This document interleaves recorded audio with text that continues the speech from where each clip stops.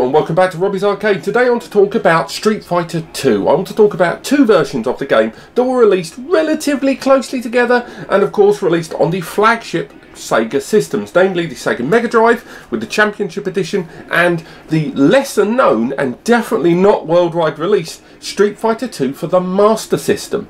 Now the Street Fighter 2 Master System version was actually only released in a few places.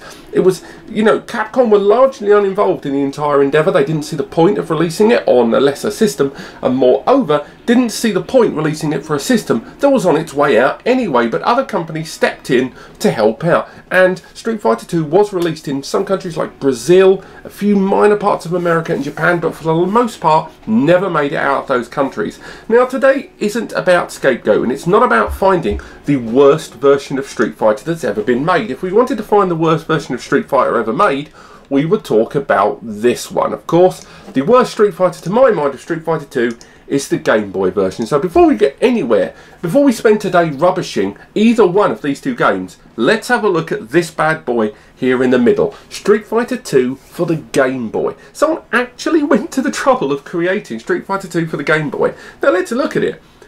The the music isn't terrible. It's not the worst game. Let's give that let's give the music a bit of legs. So let's give it some something to go with. Bit sharp, but let's try. It. So this is Ken versus Blanka. I know it's small on the screen, but largely because if I max screened it, it is blurry as hell. The frame rate isn't fantastic. The move system has only got two buttons, but then again, so has the Master System. The music's not too terrible either. Um, moves are, once again, because you've only got two buttons, you've only got punch and kick, uh, with lots of other moves being performed by holding forward and back. Most of the special moves themselves are insanely difficult to pull off, and for the most part, this is a largely unplayable game. But if we lose that, we can make our way into what this comparison is meant to be about, and that is, of course, Street Fighter 2 for the Master System and the Mega Drive. So I'm sure most of you either played Street Fighter 2 or played that Mega Drive Special Championship Edition.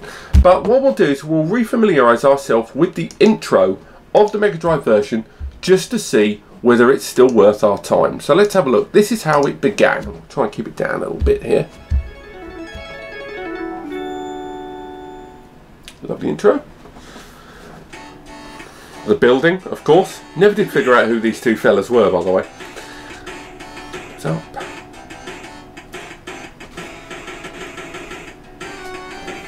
Never did understand that graphical mess up of the logo there as well, the way they decided to do that. The music pretty faithful, still not quite as good as the SNES version of Street Fighter 2 and of course they went for Hyper Edition and Super Street Fighter 2 Turbo, probably the definitive Street Fighter.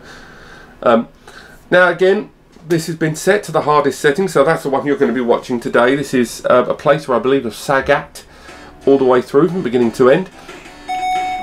Champion Edition, so none of the hyper super speedy business, and of course Championship Edition had all of the bosses included so you could play everyone. I hope a number of you watching this are having tremendous flashbacks to playing this game in the arcade.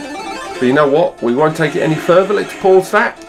And now, we'll, we've seen the intro, let's see how this compares with the intro on the Master System version. No music, first thing. So here we have the Master System version playing along here. No intro, because of course the Master System doesn't have that built into the BIOS, as we've mentioned in other videos. Um, there was no facility with the Master System to have that big, big logo at the beginning. The closest you got was the word Capcom with no music. And also, it should be mentioned, Street Fighter 2 on the Master System not only has fewer characters, as you can see, only four there, though it does seem to include three bosses. We will talk about the characters that are missing and why later. But we've got a slower, lower res version of the music. We do have the announcement of the characters, something you don't get in the Mega Drive. But we'll leave this playing and we'll see how the Master System version pans out. So first things first, the Master System version, much like the Game uh, Boy version we just saw, only has two buttons on the controller. Also, look at the shadows. Every single character looks like they're floating. Shadows are such a luxury when it comes to console games. And also a lot of the moves, the way they're performed, are insanely hard to pull off due to them removing a lot of the frames in, in a lot of the individual moves to keep the RAM low, the consequence was re removes had to be pulled off exceedingly fast. Um, even if you had the game on the lowest setting, it was insanely hard. Now what we're seeing right here is the music. The music is actually not too bad for this first level. The majority of the music in most of this game is pretty poor, if I'm honest, but we shouldn't be hugely surprised. But the game itself, I still don't understand why those characters are floating. There's no reason for that. Maybe it was because the game was rushed, who knows. But the backgrounds are pretty faithful, although the colour palette is much, much lower.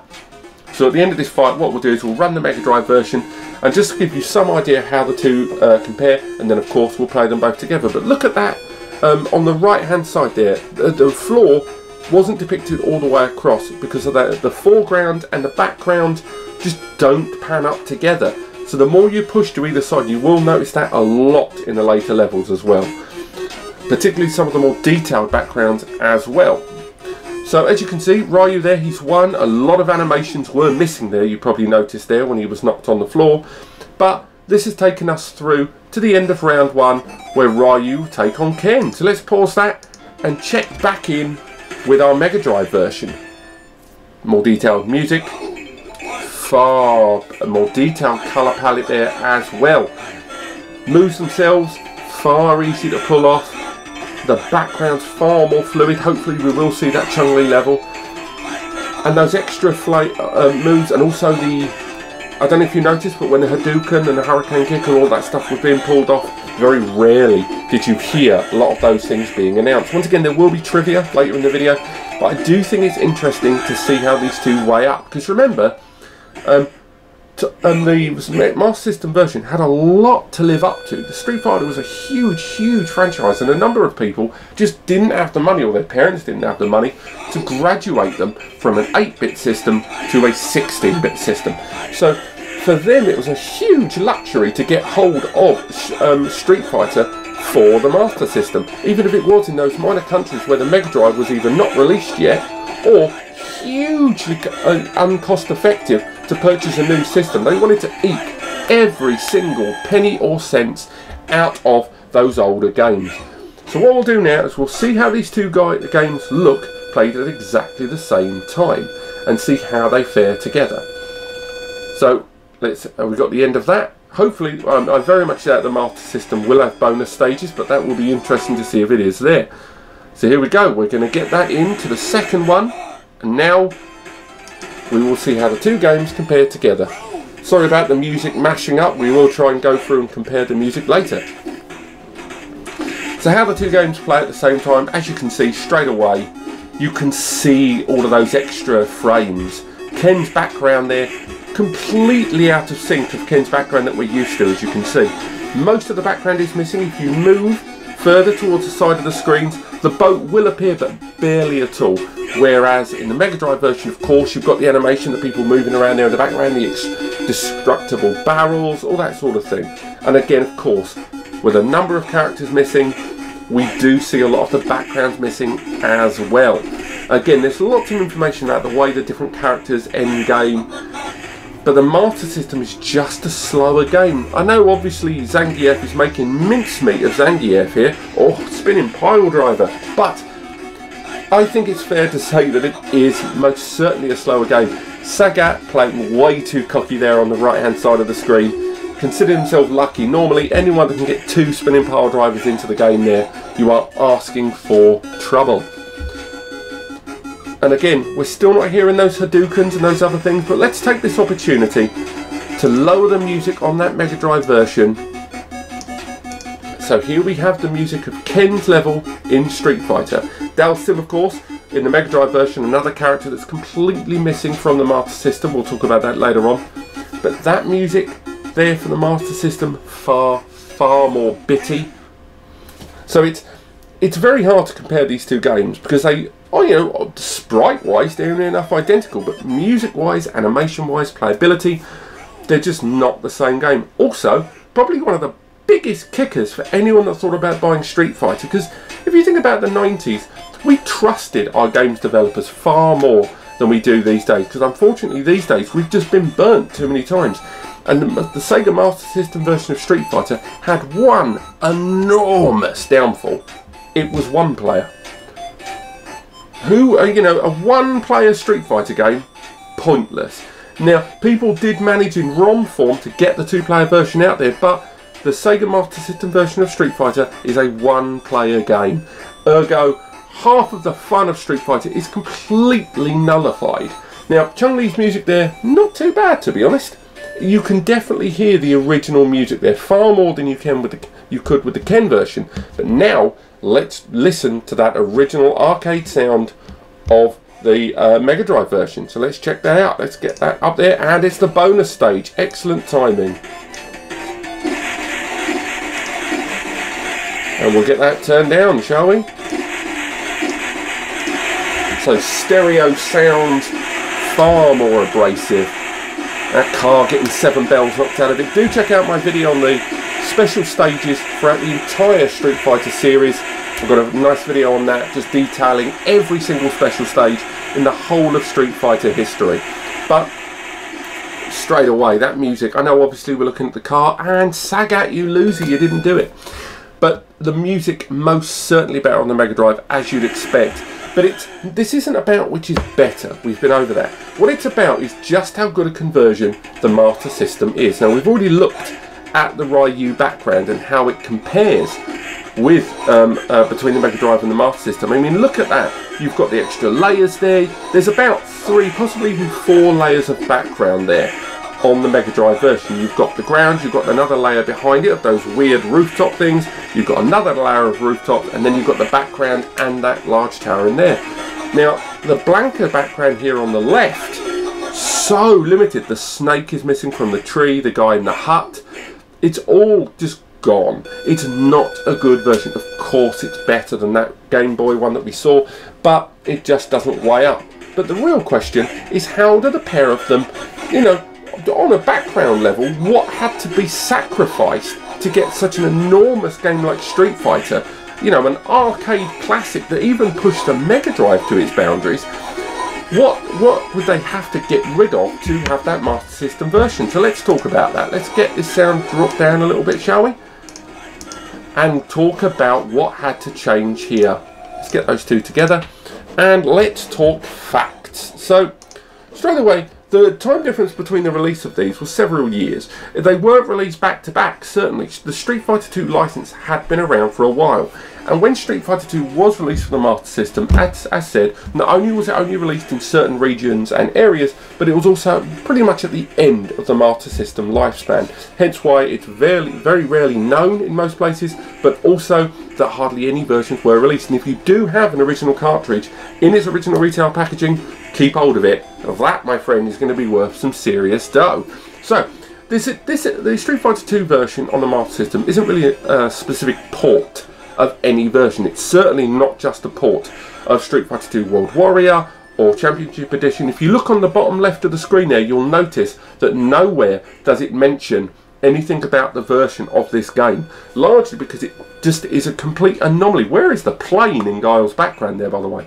Um, it's a mix between Street Fighter 2 Championship Edition on the Mega Drive and Super Street Fighter 2 The New Challengers. It mixes elements of both, both graphically, but of course it doesn't include all those extra characters. We will get onto the characters too later on. Um, it mixes elements and sound effects from both. There's only about two ways in which the Master System version is actually superior um, than the Mega Drive. The first one is the announcement of characters when you select them, and another one is just when you um, select the bosses, the bosses themselves and the roster that you face against is actually more faithful to the arcade than the Mega Drive.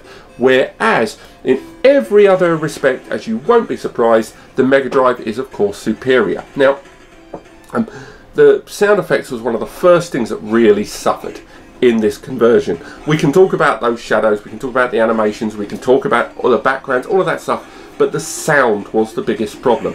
Street Fighter 2 had one of the most comprehensive soundboards of any game at that time. The reason being that the characters had their own individual sounds, you had two characters with their own sound effects, you had the background had sounds, you had the music that would change mid-round, and end of round music as well. It was very, very deep, not just the music themselves, but the way in which music was accessed and the triggers for that music. So they had to eliminate most of that pretty early on.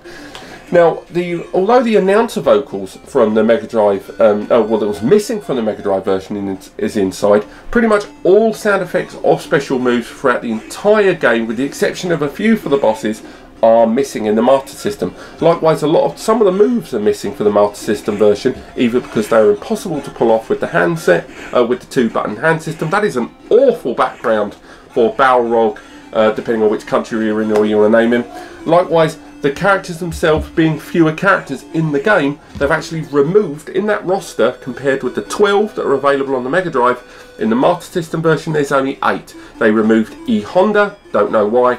Um, Zangief they removed, presumably because his move set was near enough impossible. Another bonus stage, lovely.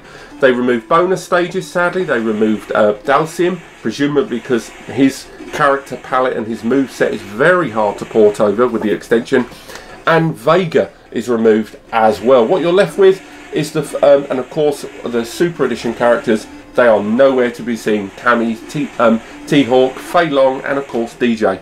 They're all gone. Although their portraits do feature in multiple locations, both on the box and in the roster in the opening sort of don't press anything title screen.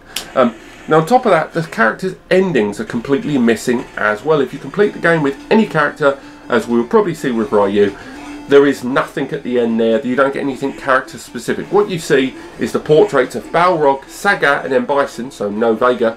They're the ones that are used in uh, the Championship Edition. Um, when you, it's the same thing you get actually if you complete Championship Edition with a boss. What you get on the ending for them in the Mega Drive version is pretty much what you get for every single character in the Master System. Um, but you do get a little portrait of your character. But then again, you saw that when you what is going on with Balrog? He's doing nothing there. Um, now, although those character-specific endings are missing, um, everything else about the game, from uh, the moves that are performed being character faithful, to the music per areas, is pretty much faithful to the Street Fighter series, even if it isn't an identical rip of the Mega Drive version of Special Championship Edition.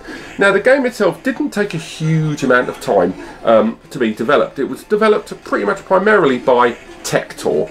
Uh, Tectoy. They wanted to develop their own version, and both Sega and Capcom were pretty shaky on the idea, with Sega being very, very against it, thinking it was difficult and that it would look pretty terrible. Here we have Sagat side by side, so we can actually see um, Sagat and how he looks against his 8-bit counterpart. Now, when they tried to develop Street Fighter 2, they did sh um, show early workings, but Sega pretty much shot the idea down, claiming it was an impossible task, which, let's face it, they're pretty right. Um, they continued, Tectoy continued to insist that they could get this game out, and, and uh, although they kept insisting, and everyone kept saying no, Tectoy still continued to develop both digital art, sprites and backgrounds, as well as um, using emulated versions of the Mega Drive version, and again, emulators 1990s, uh, to create a movements prototype to show Sega how it would work and how the Master System could still utilise this. Again, Sega didn't approve, they said no, they didn't want the game that would perform badly and therefore hurt their system's credibility. In the end, they decided to proceed with it anyway, in spite of what Sega said. They decided to continue development, which went on without approval, approval for about five to seven months. The development time, uh, the actual physical creation of it, was four to five months of that time. The early part was spent just creating the digital artworks. Um, after about one or two months of extracting images and adapting them, eventually the game was released. And Sega, when they saw the final product, signed it off for release finally. Oh wow, we got to see the um, Psycho Crusher there. Uh, forgive me if I'm wrong, but Bison seems particularly far off the ground there. Now, I've got to say, Tectoy did a good job. It's not fantastic. It's got the colour palette, the backgrounds are pretty poor. Whether they just ripped the original animation and just tried for the best, who knows. But you've got to give it to Tectoy. This isn't a too bad a conversion. It lives up, you know, to what you'd expect from Street Fighter on an 8-bit system. It's a shame about the two-player, and the sound is pretty terrible. But if you were a Master System owner and you wanted to get your hands on Street Fighter, this was as close as you were ever going to get. Um, but ultimately, for the Ultimate Street Fighter experience, of course, the Mega Drive version is pretty good up there, particularly for a Street Fighter 2 experience. For Super, you've got to give that to the SNES. But here we go. If we're looking at the Master System version up there, you have to forgive my lefts and rights. You're looking at it uh, different to what I am.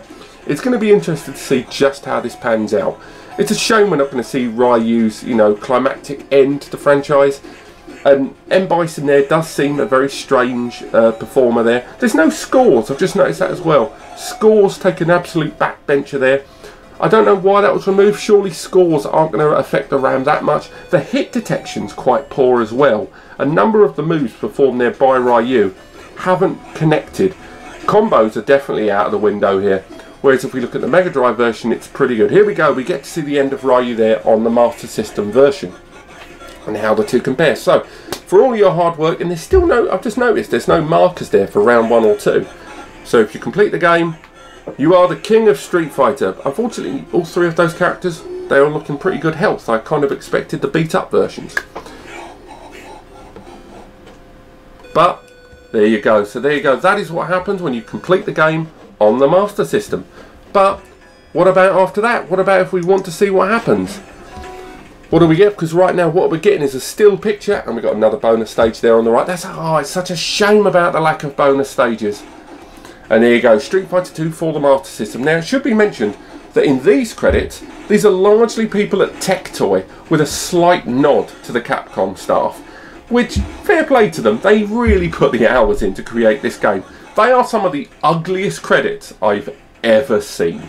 That looks like it's reading from notepad.txt kind of information. But, nevertheless, fair play to them, that is a very well done job.